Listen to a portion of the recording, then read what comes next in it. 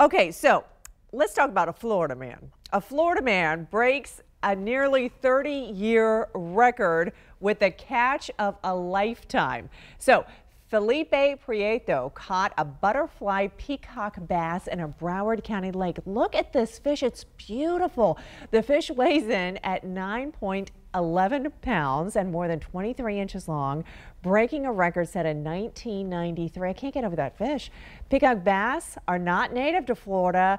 They were introduced in the 80s to cut down on some other fish.